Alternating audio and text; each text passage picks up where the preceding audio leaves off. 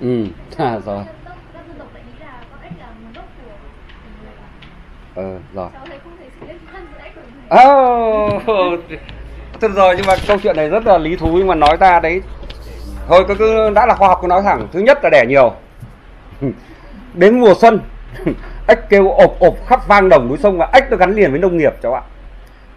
Khi mà tiếng sấm tháng 3 núa chim lấp lé đầu bờ đấy ếch kêu là tiếng sấm. Đấy là gắn liền với nông nghiệp tư duy nông nghiệp và tư duy nông nghiệp gắn với hồn thực gắn với sự sinh sản người đàn bà.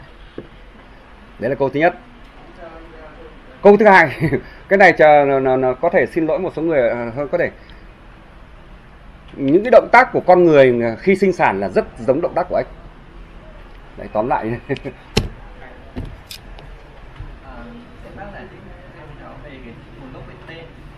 Ừ được. À không à, vâng anh à, tên Việt thì ở đấy tất cả xưa bây giờ các có lẽ là nếu mà uh, quan niệm phổ biến từ Trung Quốc tới Việt Nam đều Việt là từ chỉ dìu. Người Việt là tên của Việt là gắn liền với cái dìu. Điều đó cũng không hẳn là sai. Nhưng ít nhất là tôi cũng chứng minh rằng tên Việt gốc của nó là từ chỉ người. Nhưng sau đó nó biểu tượng của dân tộc Việt là cái dìu bởi vì người Việt là dân tộc đã sáng tạo ra cái dìu Việt. Dìu Việt là gì? Là cái dìu tròn. Ở đây trong sách của tôi có một hẳn một cái chương 4 viết về nguồn gốc của tên gọi Việt. Thì cái tên gọi Việt khi mà người dân tộc họ họ họ họ họ làm những cái đồ gốm đấy xong họ mới khắc cái cái cái cái, cái dìu Việt là cái đặc trưng cho dân tộc mình lên cái đồ gốm đó. Để chỉ đấy là của tôi. Đấy là của cái người Việt này người mà có cái dìu Việt này làm ra. Và sau đó là dần dần nó trở thành ký hiệu. Và người chúng ta cứ tạm gọi là người Hoa sau cái này khi tiếp thu cái dìu Việt đó. Bởi vì cái dìu Việt đến khi nhà thương nhà Chu biến cái dìu đó những ông tướng cầm cái dìu Việt đó để, để hộ vệ nhà vua. Đấy và thành chữ vương là là, là cái từ cái dìu Việt mà ra đấy. Thì cái dìu Việt đó là được gọi diều dìu Việt tức là gọi là Việt. Nhưng mà thực ra nó là gọi tắt để nó đây là cái Việt cái dìu này là của người Việt. Ngày xưa người ta là sáng tạo ra. Đấy. Cho nên đi vào vấn đề các chứng cứ khảo cổ, tôi sẽ đi chứng cứ từ sinh ra cái dìu Việt nó bằng đá thế nào, sau đó nó được khắc ở trên đồ ngọc ra sao, trên đồ gốm thế nào, và cuối cùng nó trở thành chữ Việt ở trong văn giáp cốt, tức là cái chữ gọi là chữ nguyên thủy của chữ Hán bây giờ, tức là ở trên những cái mu rùa hay những cái xương châu của của nhà thương đấy, nó biến thành như nào? Rồi sau đó nó trên cái chữ đấy ở trong này đặc biệt tôi có nói tôi có khắc một cái hình hình đồ gốm về về, cái chữ Việt mà con, con với bên cạnh đứng bên cạnh con con con con cò. Đấy con cò là con con, con chữ, chữ, chữ lạc đấy.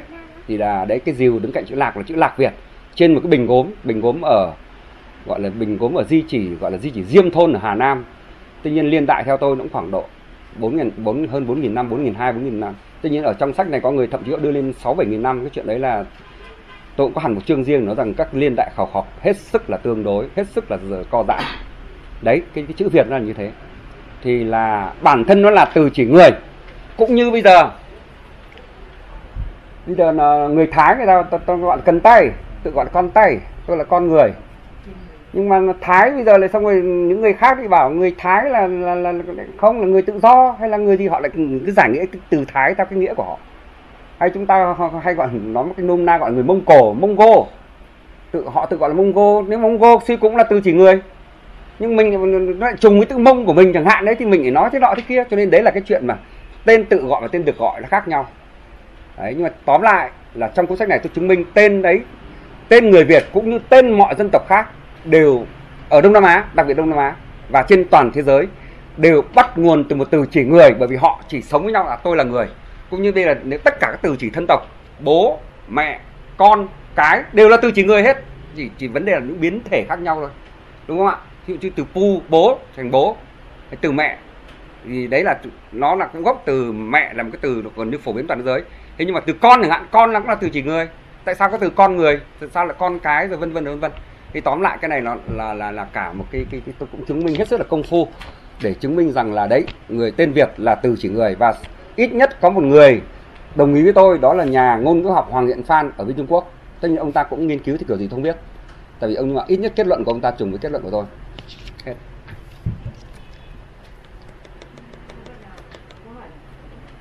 Thế các bác ở đây tôi, tôi xin có một câu hỏi. Ừ.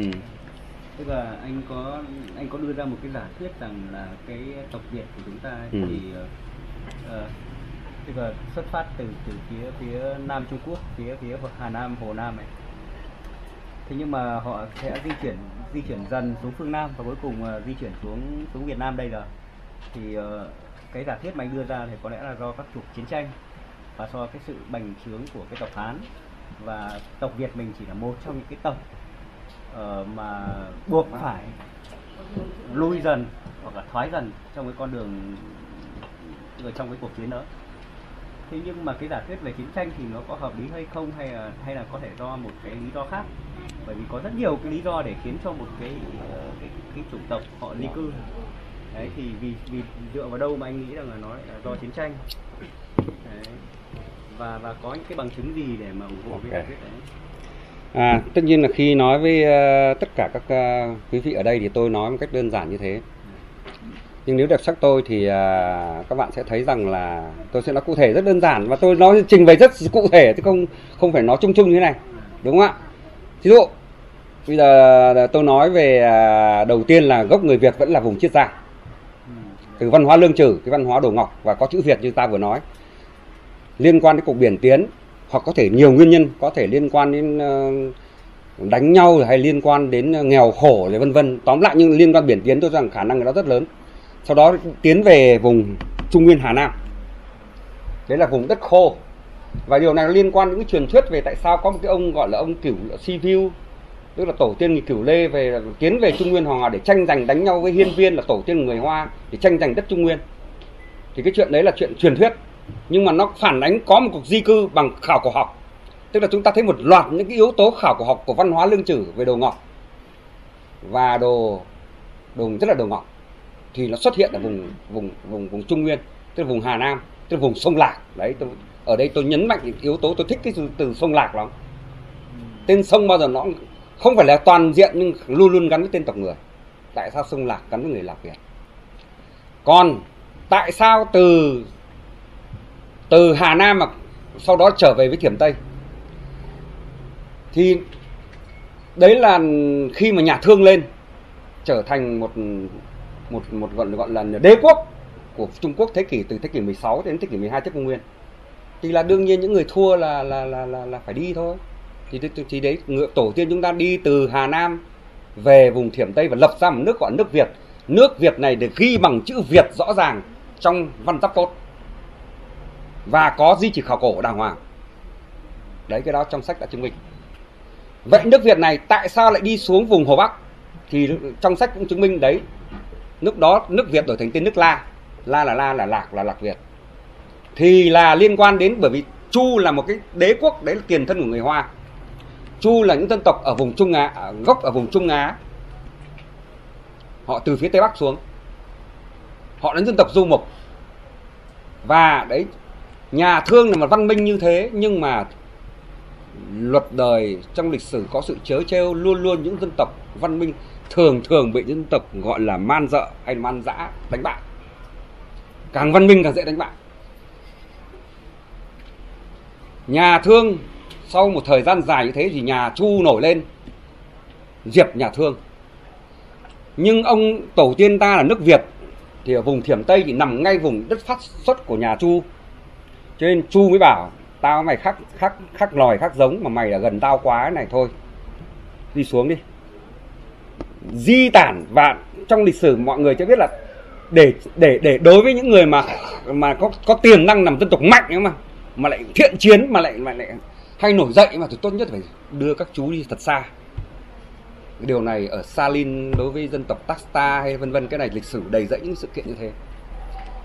Cho nên nước Việt bị đưa về vùng Hồ Bắc.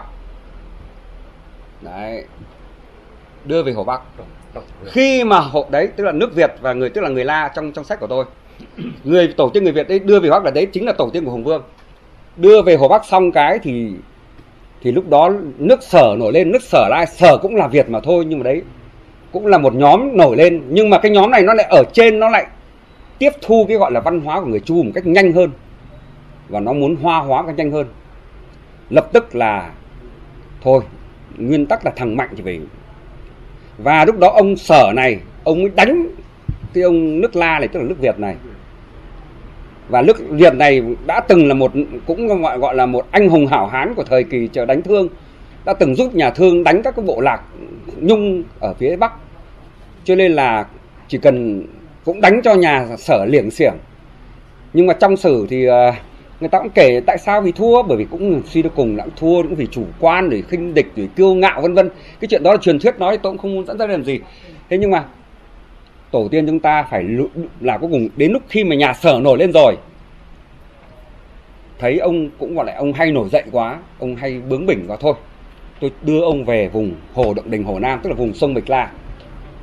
Về đến vùng sông bạch la thì đến đấy là cái vùng nó mặc dù gần hồ động đình thật nhưng mà nó rất là nghèo nàn. Và đấy tôi có dẫn một cái một cái cái cái bút ký của Nguyễn Ngọc Thơ là một cái ờ, nhà nghiên cứu ở trong Sài Gòn ở viện ờ, ở văn hóa học Sài Gòn. Đến cái vùng Mịch La mà tôi cũng đã đến đấy rồi đúng là nó nghèo nàn lắm. Và tại sao là các cụ nhà mình không chịu ở đấy là phải các cụ phải đi. Người thì đi sang đấy có một nhóm đi sang vùng xứ thục để tạo thành vua của thục an, bộ tổ tiên của an dương vương một nhóm lại trở về với tổ đất tổ của mình ở ở chiết giang lập thành đất nước việt. Đó là nước việt của câu tiễn. Đấy. Thế còn có một nhóm đi thẳng xuống việt nam để lập lên nước văn lang. Đấy là tổ tiên của vua hùng. Đấy là một lần chiến tranh thứ nhất. Còn lần còn về sau lần chiến tranh gì đấy vua hùng bị ai đánh? À, à, thục, thục an dương vương là ai? Tôi chứng minh thục an dương vương chắc chắn là người nước thục từ tứ xuyên xuống và bị nước tần chinh phục. Chạy. Tất nhiên không phải chạy thẳng đến việt nam không phải đem quân thẳng đến việt nam. Bao giờ chạy xuống quý châu trước sau đó lập ra nước ở đấy rồi dần dần. Quý châu cũng là vùng núi. Không được các cụ thì mình bao giờ cũng phải có tầm bắt chiến lược là tôi phải chọn cái vùng đồng bằng. Có vùng trồng lúa thì tôi mới phát triển được. Chứ còn anh cứ ở vùng núi làm sao thành quốc gia khá khẩm được. Đấy các cụ nhà mình là, là là có cái tầm mắt ở đấy là các cụ em đi xuống sông hồng. Đấy đi xuống vùng sông hồng có vùng đồng bằng đấy thì mới lập được quốc. Ngay khi an dương vương từ quý châu đến quảng tây đến vân nam lập ra một lập tiểu quốc. Cuối cùng cũng về sau thấy ông cụ hùng vương đấy là thôi cũng muốn uh, thôi thì cũng gọi là trong sử thì bảo là cho cho hai nhà lấy nhau đi lại khái để thông gia cho nó mạnh lên. Nhưng mà về sau thì tất nhiên thế nào đấy là có cụ chơi luôn cụ chơi luôn cụ hùng vương.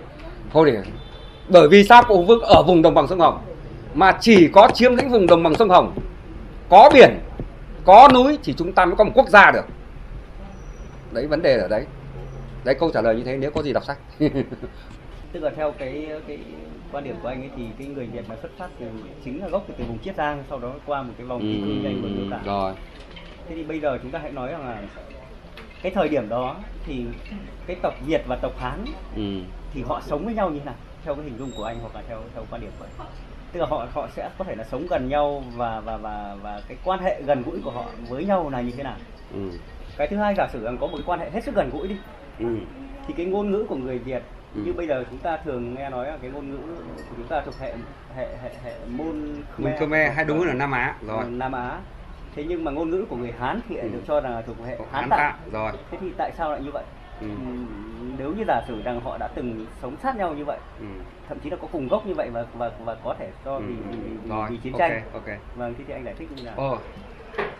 À, trong sử Trung Quốc khi nói về cái thời kỳ Thương Chu nói là có 10.000 nước. Người Việt, người Hoa sống với nhau thế nào ở đây thì à, mà bạn hãy đọc sách của tôi đã. Thì bây giờ tôi bởi vì tôi trong ấy tôi trả lời hết rồi. Thế có những điểm nào mà trong sách của tôi nó chưa rõ thì tôi trả lời nó hợp lý hơn.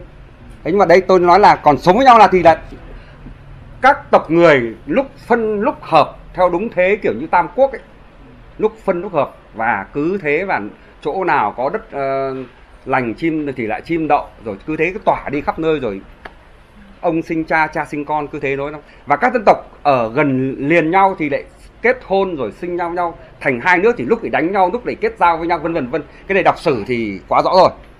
Còn bây giờ nói rằng giữa tại sao các nhà ngôn ngữ học phân ra các cái hệ ngôn ngữ bởi vì người ta dựa trên những đặc trưng ngôn ngữ khác nhau.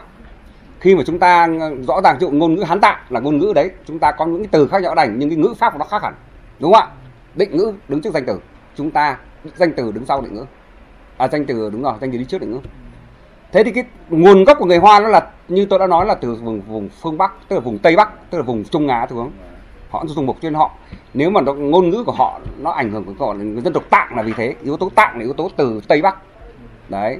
Thế còn bây giờ trở lại vấn đề ở trong này chúng ta phải trở lại một luận điểm mà bây giờ tôi có thể tôi có thể nếu bạn nào đọc sách và những người nào đọc sách nhiều sẽ thấy rõ rằng là ngày xưa có cụ kiên định cụ đưa ra một cái chủ thuyết rất là gọi là động rời tức là người việt có mặt ở trung hoa, trước người hoa, trước người tàu. Nói đúng là trước người hoa, cho nó người tàu thì chính là và sau đó là người việt chúng ta đã sáng tạo ra văn minh trung hoa, kể cả đấy, bây giờ kinh dịch ư, rồi nho giáo ư, chúng ta làm hết. Nhưng sau đó là bị các ông kia là ông sơi mất. Đấy, vấn đề đấy. Trong cuốn sách của tôi tôi vì những thận trọng, nhưng mà tôi nói rằng, và tôi nhắc lại một câu ở đây tức là khi cụ Kim Định sang Mỹ, cụ bắt đầu cũng đọc những tác phẩm khảo cổ học của thế giới về ở Trung Quốc. Mà mấy năm gần đây Trung Quốc làm khổ học, phải nói là kinh hoàng, bởi vì họ đào để phát hiện những công, phải nói những cái phát hiện làm gọi là thay đổi lịch sử, thay đổi nhận thức về về văn minh Trung Hoa. Cho nên lúc đó cụ định cũ vỗ tay, vũ đùi đánh tét phát bảo ta đúng rồi! Nhưng sau đó cụ chết và cụ không thể chứng minh được thêm, bởi vì ngày xưa cụ cứ tự suy ra thôi. Nhưng bây giờ cụ đã cụ đúng rồi và tôi nghĩ rằng và tôi trong cái chương về hồ động đình của tôi tôi có nhắc đến cụ kiên định và tôi nói rằng những thành tựu khoa học khảo cổ học gần đây, kiên Định có cơ sở thuyết có cơ sở Thế còn đấy sẽ đọc với gì chương ngôn ngữ rằng cả cái giải ngôn ngữ nằm ở vùng từ, vùng Sơn Đông cho tới vùng Quảng Đông đều là ngôn ngữ Nam Á. Tuy nhiên, cách dùng đây là cách dùng của các nhà ngôn ngữ thế giới. Tôi thì cho rằng dùng Nam Á là nó không thuận lắm. Là phải đáng nghĩa phải dùng từ Nam Phương hay Nam Thái chẳng hạn. Tức là cái một cái ngôn ngữ là nó là mẹ của tất cả Nam Á bây giờ bởi vì Nam Á bây giờ là người ta có nói là môn Khmer là các nhóm ở phía Tây thôi. Anh Thái là ở phía Đông. Đã hại cái kiểu như thế. Anh nam đảo là ngoài đảo. Tạm hiểu như thế. Thế nhưng mà chính ra nó phải là mẹ của tất cả ba ngôn ngữ đó. Đấy. Cho nên tôi cũng muốn lưu ý các bạn đây những người nào mà đọc nhiều về ngôn ngữ học có một cái ông học giả rất nổi tiếng ở Việt Nam là ông An Chi ông này ông chứng minh có thể ông chứng minh 100% từ Việt Nam đều là có họ hàng với từng Hán hết đều gốc Hán hết trong sách của tôi tôi nói rằng người Hoa đã tiếp thu văn minh Trung Hoa à, của người Việt và tiếp thu cả ngôn ngữ Việt.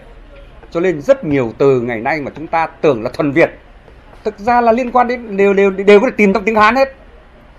Các nhà ngôn ngữ học bây giờ chỉ tìm với 33%, trong tiếng Hán là 35% từ là gốc Nam Á thôi. Thực ra còn hơn nhiều, bởi vì có thể lại từ Thái có thể họ không biết. Như ông cụ An Chi đây là cụ chứng minh thì kinh lắm. Tất cả thậm chí từ bộ phận cơ thể rồi cái nọ cái kia là cụ chứng minh là trong tiếng Hán ra hết.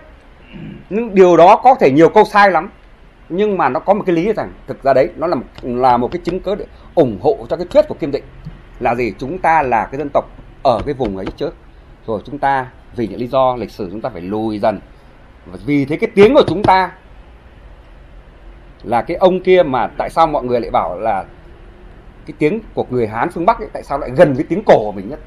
Ví dụ tôi nói gâm gâm ấp của Việt là ya đấy chẳng hạn thế. Thì bây giờ tiếng Hán Bắc Kinh tiếng Việt tiếng Hán Bắc Kinh là duê duê với ya rõ ràng đọc rất dần gần nhau. Nhưng mà duê từ ya đấy mà đi xuống vùng phương Nam do tiếp xúc ngôn ngữ với những cái tập và do cái sự phân tán, đặc biệt là dân dân Việt là bị phân tán nhiều, đâm ra nó thành vác, thành vút, thành vét, cuối cùng thành Việt. Đấy là từ Hán Việt. Đấy, vấn đề nó gì nó thì khác nhau ở cái gọi là phụ âm ở cuối. Tức là giống như cò biến thành cốc, đại khái thế. La để biến thành lạc. Tức là có thêm một cái âm nặng ở đằng sau, thì gọi là âm phụ âm kêu. Đấy, tóm lại tôi sẽ trả lời cho các bạn là cái vấn đề là quan hệ giữa người Việt, người Hoa, thời tiền sử, cũng như là vấn đề ngôn ngữ là như thế.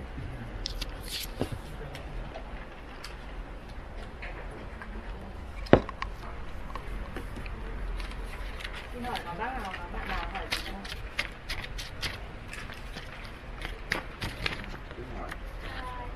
Ừ. Hỏi là bác bảo là nếu mà có người phương Bắc từ phương Bắc xuống Việt Nam ấy ạ. Ừ. Trước đấy thì trước khi người ta dồn xuống thì ở Việt Nam là có người nào ạ? Ừ, rồi, câu hỏi rất uh, hay. Trong sách tôi cũng nói rồi, bây giờ này nhá, bây giờ là mình uh, có một cái văn hóa hòa bình. Bây đấy trở lại với cái lý thuyết là người từ châu Phi đi đã nhá. người châu phi cách đây 40 năm hay là cách 20 năm thời gian luôn luôn co giãn nhá. Sau đó đi từ qua Trung Đông tới Ấn Độ xong tới vùng Đông Nam Á này có thể đúng là tới Vân Nam thôi chứ không phải vào Việt Nam đâu. Tuy nhiên đấy là người ta vẽ như thế. Thì cứ cho là đến Đông Nam Á sau đó một nhánh bắt đầu đi lên. Có một nhóm tách riêng đi theo vùng dọc cái ven biển đấy, và lên tới vùng, tạm gọi là cái vùng trung lưu sông Hoàng Hà bây giờ à trung lưu sông Tương Tử bây giờ, để lập ra cái văn minh nông nghiệp và đấy được coi là quê hương của tiếng Nam Á, hay là quê hương của cái ngôn ngữ mà cổ nhất của của loài người đến giờ. Đấy. Còn một nhóm thứ hai bắt đầu đi, lại đi thẳng lên phương phương bắc. Đấy. Lên phương bắc rồi thì do tác động, cũng là người da đen, gốc da đen cả thôi, bà mẹ châu phi cả thôi, nhưng do tác động của những yếu tố về mặt khí hậu, ai cũng biết rằng người nào càng sống ở vùng núi và vùng cao mà trời lạnh thì da phải trắng, đúng không ạ? Còn những ông sống ở vùng biển với vùng phía nam thì nắng nhiều là phải đen. Cái đó rõ ràng thì tôi rất buồn cười là vừa rồi là có cái ông cung đình thanh là ông ông cứ bảo là không người việt là phải ở gốc đây nhưng mà tự nhiên nó phải thành da vàng. Bởi vì nó đột biến khi gen giết cái nào nó phải thành da vàng. Cái chuyện đó là ông cứ thích ông nói thì ông cứ nói thế thôi, chứ còn làm sao mà có cơ sở. Anh thích ứng với môi trường tự nhiên. Bây giờ ngay người tôi tôi tôi đang da trắng ở hà nội đây nhưng mà tôi ra biển vài hôm tôi đen. Chắc chắn như thế, xong rồi về hà nội tôi lại ra ra lại trắng, ở trong phòng mãi ra nó trắng đấy là nói cái nôm na mách khóe thế, nhưng mà thực ra là tác động của yếu tố môi trường và khí hậu. Đấy. Thế vì người da đen ở trước khi đi cái văn hóa hòa bình, tức là cách đây khoảng cho là hơn 10.000 năm đi, tức là trước khi có người phùng nguyên là trên bốn năm đó là người da đen. Tất cả những cái xương cốt mà chúng ta đào được cái thời kỳ văn hóa hòa bình bắc sơn ta bút, tức là thời kỳ trước phùng nguyên đều là da đen và người ta gọi là người Australis Melilazi tức là người da đen. Đấy. Răng hàm phải vô chán, phải hơi ngắn, vân vân và vân vân tức là nó có đặc điểm của nhân chủng hết. Đó. Thế thì về sau đó thì khi mà có những làn sóng di cư từ phương Bắc xuống, thì họ lại là những người Mongolit, tức là những người mang yếu tố da vàng, tóc thẳng. Không phải tóc xoăn, tóc thẳng. Mắt thì đại khái là một mí đại khái thế. Và nhiều đặc trùng khác để nó đỡ vô hơn, đỡ vô hơn. Và những người đó đi xuống phương Nam, và đấy là những người phùng nguyên. Và cái di chỉ mắn bạc ở Ninh Bình là một là một cái điển hình bởi vì đó là di chỉ thời tiền sử duy nhất Việt Nam mà còn giữ lại được nhiều xương người chết như thế. Còn ở Phùng Nguyên là cũng đào ra xương mùn hết. Nhà khoa học Nguyễn Lân Cường có tài thánh không nào để chấp dựng lại được cái xương. Động vào nó mùn rồi vừa đào lên nó nó mùn ra còn, còn đo với đếm cái gì nữa. Nhưng may ở cái vùng mắn bạc nó là đất vùng nó nó nó yếm khí đâm ra nó giữ lại. Và đây là một một tập hợp của các nhà nghiên cứu. Nhật là một Úc là hai và Việt Nam là ba. Và đấy là một nơi họ đo đếm được thì là bắt đầu yếu tố của Mongolit. Đấy đã bắt đầu xuất hiện. Đấy làm là răng hình sẻng ư là rồi đo, đo đếm xương rồi các thứ đo đếm răng. Cái này nó thuộc về nhân chủng tôi không muốn nói kỹ ở đây nhưng mà để nói rằng trước khi người Mongolit đến chúng ta có người da đen. Và càng ở phương Nam chúng ta càng nhiều người da đen. Cho nên các bạn về sau đi vào phương Nam càng thấy nhiều da đen. Và đến Indonesia thì càng nhiều da đen. Cho nên đội tuyển bóng đá Anh thỉnh thoảng vẫn có ông da đen họ vẫn là người Indonesia. Đấy là những người họ giữ lại những đặc chủng mông à, Legorovic hay là Melazi của mình cách sâu đậm nhất.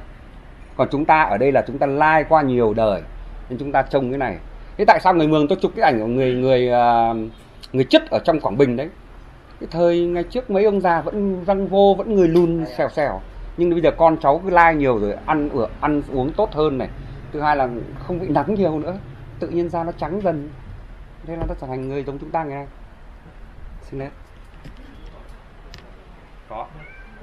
Cho nó hỏi một câu là trong các ý kiến phản hồi trên mạng có một ý kiến được cho là khá là trung gian nhưng không phản đối nhiều quá cũng không bênh vực nhiều quá là của ông uh, tiến sĩ Trần Trọng Dương ở viện Hà Nội.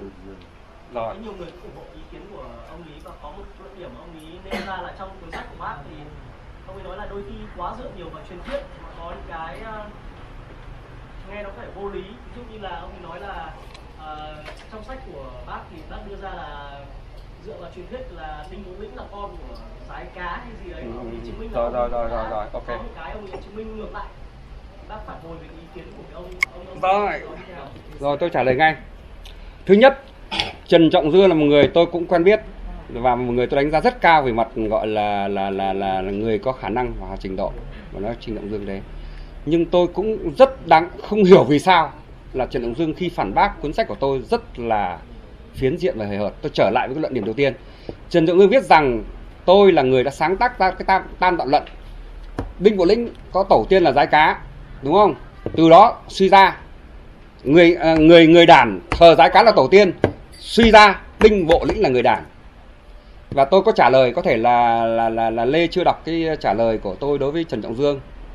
Tại sao dương lại gán cho tôi cái tác quyền cái tam đạo luật đơn giản đó nhỉ? Trong khi đó tôi có hẳn ba trang liền, đưa ra 10 bằng chứng khác nhau để chứng minh rằng đinh bộ lĩnh là người đản và người đản thì có tín ngưỡng thờ vật tổ giái cá.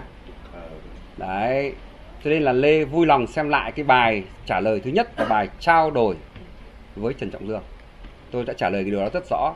Và để nói rằng là trần trọng dương cũng phải nói thêm rằng đôi con Trần Trọng Dương có một cái quan niệm rất là buồn cười đấy để đem kiến thức của học sinh cấp 1 phủ nhận cái chuyện rồi lại chê ông ờ, Kết Taylor luôn là tại sao lại lại lại lại, lại, lại nói là tị ông tin. Trần Trọng Dương chứng minh rằng bố của Đinh Bộ Lĩnh là Đinh Công Trứ thì có ai không tin là Đinh Công Trứ đâu. Nhưng mà truyền thuyết dân gian người ta bảo và tôi có chứng minh ở đó là gì? Tất cả người Việt Nam muốn cho ông vua nào là vua thì ông phải là vua phải con rồng. Bởi sao? Chúng ta thờ thần nước thì ông muốn làm vua của tôi thì ông phải là con của thần nước như lạc long quân phải là con của thần rồng. Đúng không ạ? Đinh bộ lĩnh phải con của thần giái cá. Lý công nguồn phải là con của chó. Đấy mà nên nhớ con chó này bơi qua sông hồng nhá chó nước. Đấy tạm hiểu như thế. Và nếu mà thờ đền thờ linh lang đính là thờ chó. Linh lang linh là, là, là, là, là thần và lang là chó. Mọi người bây giờ mọi người cứ cứ phớt lờ đi thôi chứ còn thực ra cái đó là sự thật. So đến thời đấy tôi nói là lý lý đến thời chân thì ít nhất là cũng vẫn còn tục xăm mình là phải là con rồng là tục xăm mình tại sao? Ai cũng biết truyền thuyết là gì? Xăm mình để để để để có hình rồng thì để rồng xuống nước phù hộ cho bởi vì bố rồng ở dưới nước. Vân vân và vân vân. Cho nên là thôi nói trở lại Trần Động Dương, tức là Trần Động Dương. Trở lại cái liên quan đến ờ, về về về ờ, về nguồn tư liệu thì tôi đã trả lời một cách rất rất là rõ ràng rồi. Trần Động Dương cũng không hiểu tại sao mà cứ cứ bắt lấy được. Cứ bắt lấy được, khổ thế tôi nói thật tôi chưa đến bây giờ tôi chưa thấy một người nào bác tôi một cách có là tử tế cả tôi đang đợi đợi chờ những người người phản bác tôi một cách tử tế và đúng khoa học Ờ, vẫn còn một câu hỏi nữa của anh Lê ấy, Ờ, là cái gì khi vậy? mà anh hỏi rằng là tại sao bác lại chọn truyền thuyết để À. lý giải cho các vấn đề Ok. về khảo cổ. truyền thuyết bây giờ đấy trong bài trả lời của Bùi Xuân Đính tôi có nói rằng truyền thuyết nhắc lại lời của cụ cố thủ tướng Phạm Đồng bao giờ cũng có cơ sở lịch sử, thậm chí nó là một cái như một cái giá mắc áo của lịch sử đấy. Có nhà văn thì họ hay nói những câu như thế.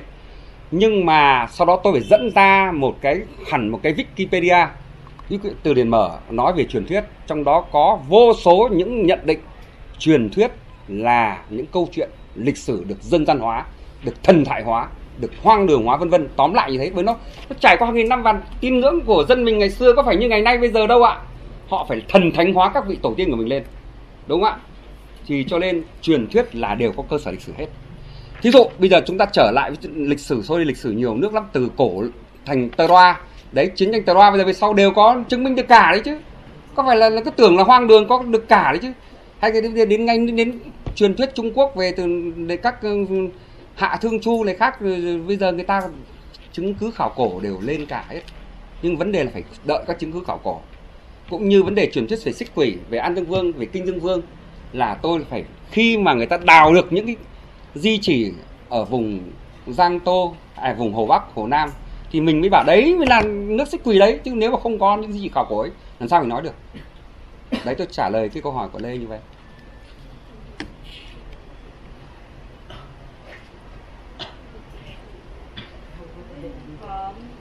À, xin mời xin mời các vị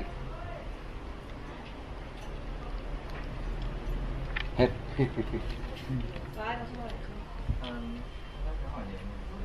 Ừ À, tôi thấy từ ờ, vào khoảng thế kỷ thứ bảy trước công nguyên Ừ. thì à, người Việt có cuộc di cư rất dài từ Hội Đình xuống khu vực gần đến Phú Thọ Việt Nam ấy. đúng rồi Thế thì à, cho hỏi hai ý một là trong lịch sử thì có hay có các cuộc ờ, di cư dài như thế không và Ừ. tại sao họ lại lựa chọn là Phú Thọ Việt Nam là điểm dừng? Rồi. Vì cái cuộc di cư này ờ, có vẻ như là nó nó chỉ trong vòng một thế kỷ thôi.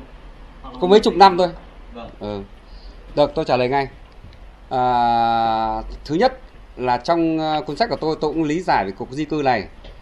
Thứ nhất là từ hồ động đình cho tới ờ, tạm gọi là vùng ờ, ngã ba hạc sông hồng đi. Nơi ờ, được chúng ta vẫn ờ, tin tưởng linh thiêng rằng đất của vô hùng.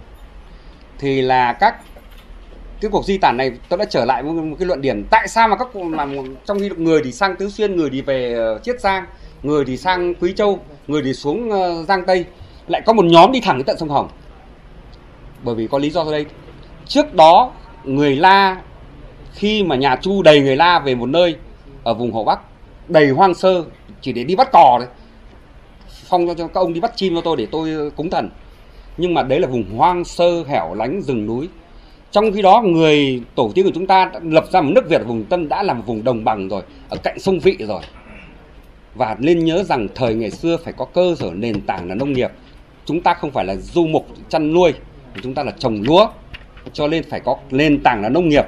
Vì thế cho nên mặc dù bị nhà Chu đưa đến những cái vùng hoang sơ hẻo lánh, sau đó người tổ tiên chúng ta tự đi tìm những vùng làm vùng đồng bằng. Đấy, ở vùng Hồ Bắc.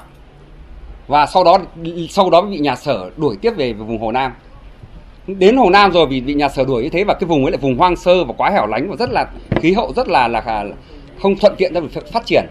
Thì là các cụ đã đi, cái nhóm ấy là đi rất nhiều nơi. Tại sao mà đến vùng đồng bằng sông Hồng? Bởi vì đó là vùng người ta, với con mắt người ta, đấy là vùng có thể làm sinh kế lâu dài. Nói như cụ Lý Công Uẩn. Đấy, có thế rồng trầu hổ phượng thế nào đó rồi là có sông có sông trước núi sau. Mới có đồng bằng thì mới có thể tính kế lâu dài được.